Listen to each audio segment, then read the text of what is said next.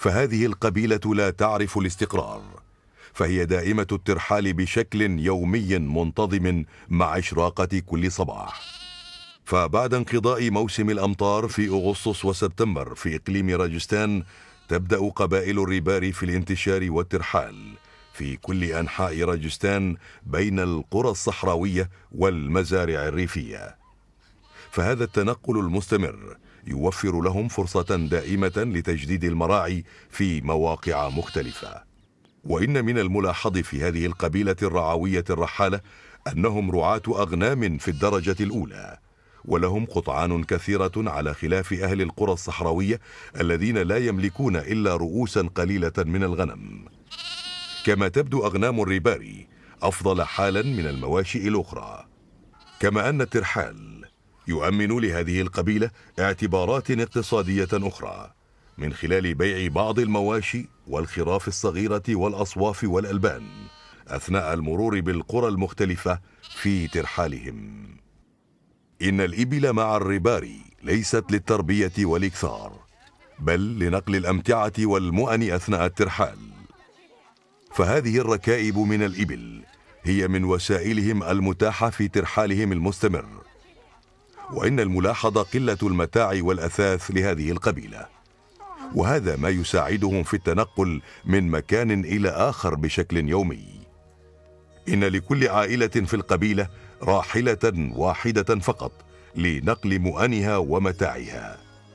والمرأة الريبارية هي الموكلة بجمع وترتيب هذه الحوائج المبعثرة ووضعها في خروج كبيرة على ظهر الراحلة. بتوازن دقيق وترتيب محكم حتى لا تتمايل الأحمال ويسقط المتاع أثناء مسير الراحلة.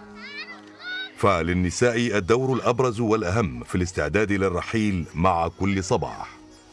ونادرا ما يشارك الرجال النساء في هذه المهمة. فهم موكلون بالرعي فقط. وفي أوقات الفراغ يفضلون التدخين على مشاركة النساء في تحميل الأمتعة على ظهور الجمال. تعتبر العمامة الحمراء علامة مميزة لهذه القبيلة كازي موحد وهوية خاصة. ويعرف الرباري بأصحاب العمائم الحمراء.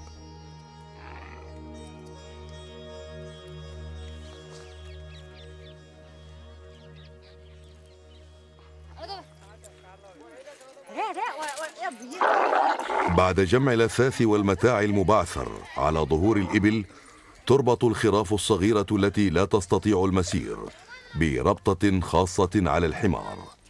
ولا يقتصر الأمر على ربط صغار الأغنام بل يربط الأطفال أيضا فوق الأحمال قبل الرحيل. فهذه الأم تربط طفلها بإحكام فوق متاعها. فهذا الصغير يعتبر القطعة الأخيرة قبل البدء في المسير. وإن لم يكن هذا الطفل قطعة من أثاثها فهو قطعة من قلبها تضعه مكرهة في هذا الوضع غير مأمون العواقب. ولعل عزاء الأم أنها تمسك بزمام هذه الراحلة التي تحمل أغلى البضائع على ظهرها طوال فترة المسير.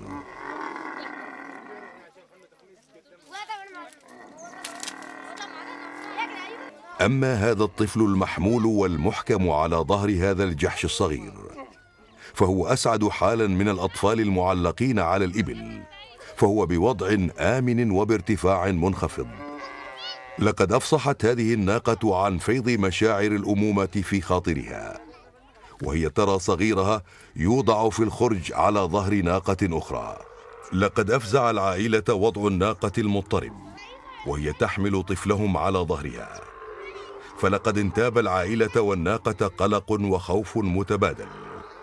فكلاهما ابنه محمول وكل يخشى على صغيره من الآخر. تلك أحكام وظروف الترحال عند الريباري في كل صباح. لقد شدت الأحمال وبدأت القافلة بالمسير. فهذا الترحال الدائم بشكل يومي بين القرى والمزارع الجافة يمنحهم فرصة أخرى للرعي في مواقع جديدة وحظ أكبر في بيع بعض المواشي على أهل القرى والأرياف. فلكل عائلة في هذا النجع سرير واحد وبعض من الأغطية وقليل من الأواني والمؤن بلا خيام أو بيوت قد تعيق ترحالهم الدائم فهم لا يعرفون الاستقرار. فلقد احترفوا حياة الترحال وحققوا المفهوم التقليدي والحقيقي للبداوة في نمط معيشتهم. من خلال هذا التنقل والترحال بحثا عن المراعي في كل مكان.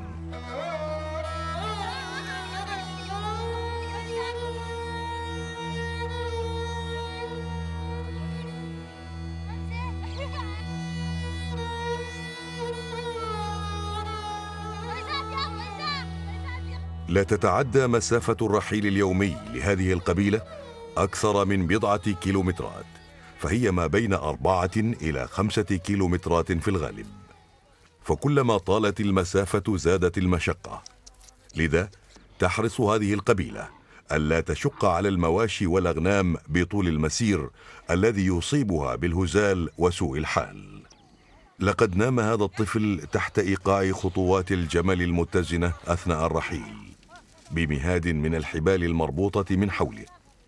فالوقت حان ليفيق من نومه فقد حطت الراحلة في المنزل الجديد.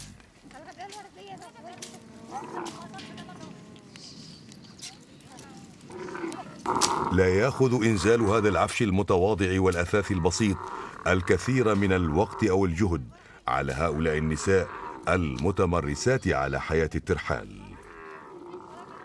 فكل امرأة منهن تعمل بنشاط وحيوية. فالمرأة الريبارية امرأة ديناميكية وربة بيت حقيقية. وإن كانت لا تملك بيتا في هذا الوضع فهي ربة للعائلة. تدبر شؤون الرحيل الذي أعطى صبغة خاصة في حياة هذه القبيلة. فهي من تدبر كل أمور المعيشة. فلقد أوكلت كل المهام الشاقة على عاتق هذه المرأة. على خلاف الكثير من القبائل الهندية التي غيرت أنماط معيشتها بقي فريق من قبيلة الريباري متأصلا في جذوره باقيا على هويته بين الترحال والرعي. فلا تزال هذه الأضعان مبعثرة في العراء. لم تلتفت لصوت قطار الحداثة ولم تركب جادة التغيير.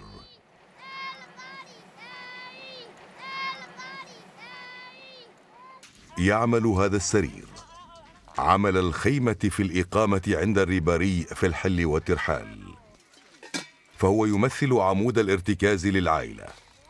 فعليه تنضد الأغطية والفرش وتحته تحفظ المؤن وينام الأطفال. وعلى ظهره ينام الزوجان في المساء.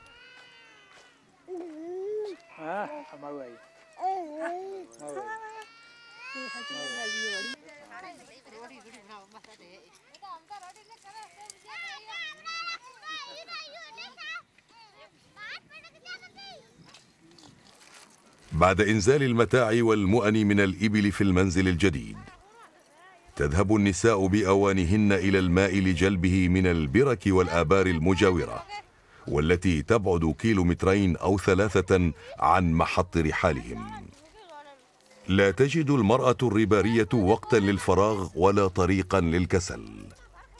فبعد جلب الماء من الآبار تذهب لجمع الحطب في الجوار بين الأشجار فتجمع الخشن الشائك من الأغصان ثم تحمله كوقود للنار للطبخ والطهي. إن رعاة الربار الذين سرحوا في الصباح الباكر بأغنامهم نجدهم في كل مكان بحثا عن المراعي بين المزارع وعلى سكك القطار فهم يحسنون انتهاز المواقع والفرص. فكثيرا ما يداهمون المزارع الخضراء في غفلة من أصحابها. لذا يحرص الكثير من المزارعين على مراقبة حقولهم أثناء مرور هذه القبيلة حول قراهم وأريافهم.